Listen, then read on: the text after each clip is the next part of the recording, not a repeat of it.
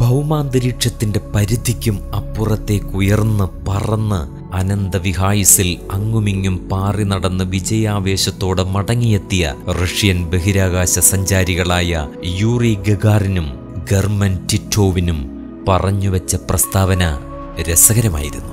മാനപ്പരപ്പിൽ പലതവണ പരതിയിട്ടും ഞങ്ങൾ ദൈവമെന്നൊരാളെ കണ്ടേയില്ല.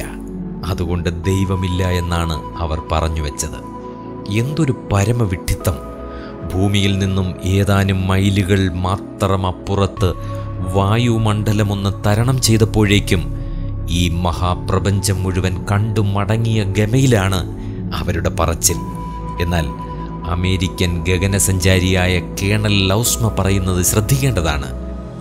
ആകാശത്തിലൂടെ രണ്ട് കോടി നാൽപ്പത് ലക്ഷം മൈലുകൾ സഞ്ചരിച്ചെങ്കിലും ഈ ബ്രഹ്മാണ്ഡ കടാഹത്തിന്റെ ഒരു കോണിൽ പോലും എനിക്കെത്താൻ കഴിഞ്ഞില്ല. എണ്ണൂറ്റി അൻപത്തിയെട്ട് തവണയായിരുന്നു അദ്ദേഹം ഭൂമിയെ വലം വെച്ചത്. ഈ പ്രപഞ്ചം എത്ര വിശാലം! അതുതന്നെയല്ല പ്രപഞ്ച സൃഷ്ടാവിനെ പ്രപഞ്ചത്തിൽ ഒതുക്കി നിർത്താനാവുമോ?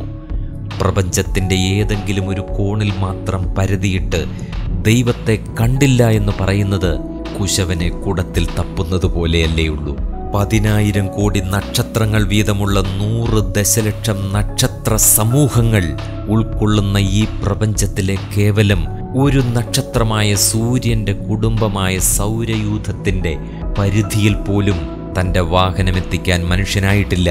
അപ്പോൾ ഇത്രയും ആകാശഗോളങ്ങളെ ചൊൽപ്പടിക്ക് നിർത്താനുള്ള സൃഷ്ടാവിന്റെ മഹിമയെക്കുറിച്ച് ഓർക്കാൻ ശ്രമിച്ചാൽ അറിയാതെ നാം ആരാധിച്ചു പോകില്ലേ? ദൈവമേ അവിടുത്തെ നിർമ്മിതിയായ പ്രപഞ്ചം എത്ര വിശാലം.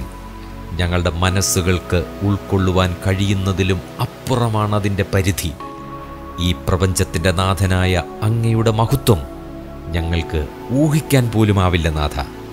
പക്ഷേ അതിലും അതിശയകരമായ കാര്യം അവിടുന്ന് ഈ കൊച്ചു ഭൂമിയിലെ മനുഷ്യകീടങ്ങളെ സ്നേഹിച്ചുവെന്നതാണ്.